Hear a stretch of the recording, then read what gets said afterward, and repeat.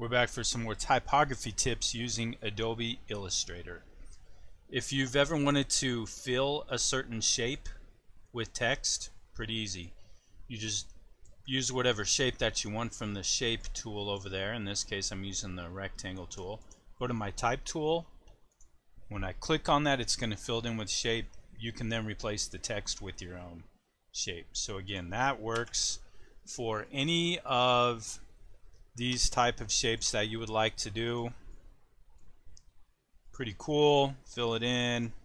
You can fill your text in for that if there's ever a time where you want to do that.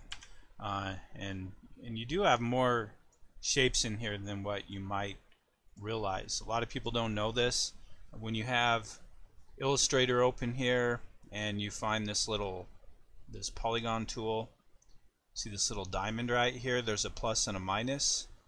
You just click and drag that around the shape and you can make all those geometrical shapes.